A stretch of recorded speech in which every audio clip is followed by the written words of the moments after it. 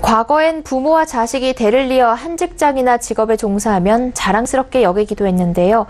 지난 1년간 채용 비리 논란으로 홍역을 앓은 은행권은 부모와 자식이 같은 직장에 다닌다는 게 마치 숨겨야 할 일처럼 됐습니다. 특혜라면 문제가 되겠지만 관계 자체를 비리로 확신하는 분위기가 또 다른 역차별을 만드는 건 아닌지 생각해 볼 일입니다. 정훈규 기자입니다.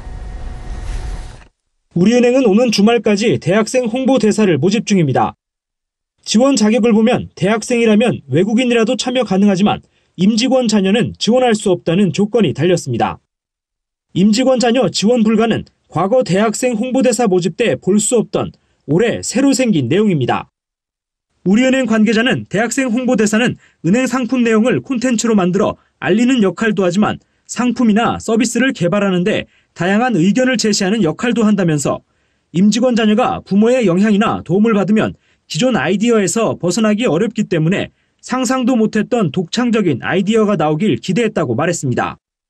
이어 홍보대사는 채용하는 것이 아니기 때문에 서류 등을 통해 임직원 자녀를 걸러내는 과정이 없고 사실상 지원하지 말아달라는 당부의 메시지라고 설명했습니다.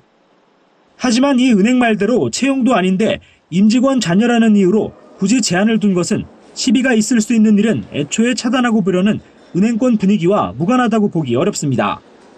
KB국민은행도 지난 상반기 대학생 홍보대사를 모집하며 임직원 자녀를 배제했습니다.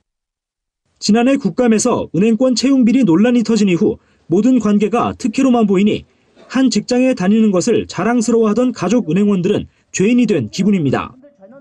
부모와 같은 은행에 다니는 한 은행원은 한창 이슈가 되던 당시 주변 시선이 부담스러워 퇴사를 결심하기도 했지만 그만두면 역시 찔리는 게 있었구나 생각할 것 같아 더 화가 났다며 답답함을 토로했습니다. 서울경제TV 정원규입니다.